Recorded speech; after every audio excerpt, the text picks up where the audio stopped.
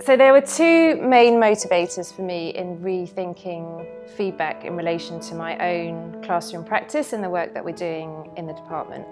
One of them was that if our end goal for all our students is not just a sense of ownership, but genuine, authentic agency and mastery of metacognitive skill, then something wasn't quite matching up in the way that we were delivering our feedback. And we were seeing that in the drafting process where students in those conversations didn't feel equipped with the skill or confidence to make the changes that they needed to make.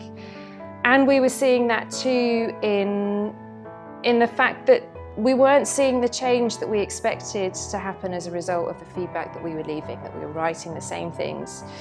Um, and it was often written um, extensively, writing those same comments for the same students. And then connected to that, I think the other big driver um, was just what that sort of more traditional model of feedback looked like in terms of staff time. And I think having worked in departments of people um, so committed to that and giving so much time to it and making it the best it could possibly be and still feeling like if they can't make this work, if with this level of dedication and expertise, it's not producing the impact that we want. Something is wrong here. Something is not matching up in our expectations of feedback and what it's delivering. And that time has got to be better spent. To invest that level of time in something which doesn't deliver um,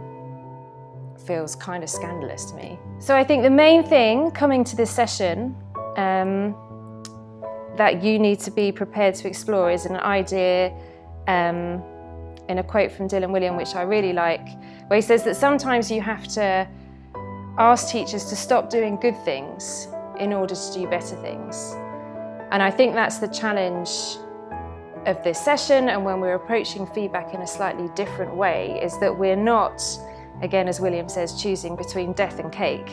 Like these are not the practices that people are using currently um, are not necessarily bad or totally ineffective ones. And there are lots of very valuable reasons to give very detailed written feedback on students' work, for example. But I think the main thing that to expect from this session is to be prepared to ask yourself that question. Am I prepared to ask myself to stop doing good things in order to explore what might be better things in terms of the learning of my students? And so what that looks like in practice is mainly not a bunch of strategies and techniques and lollipop sticks and whiteboards um, and other things that sort of came under this umbrella of assessment for learning strategies that very quickly spread across schools. Um, but really just to keep asking yourself that question, why am I doing this? What is the learning goal of this? And therefore, how can I shape feedback deliberately and intentionally in a way which best suits that goal.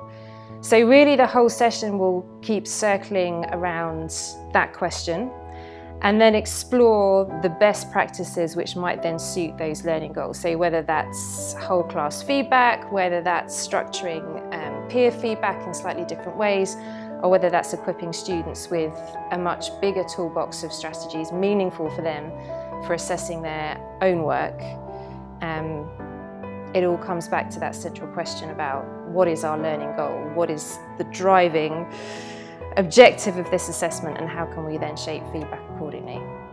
Join me at Learning2 in October for the Feedback Frontier.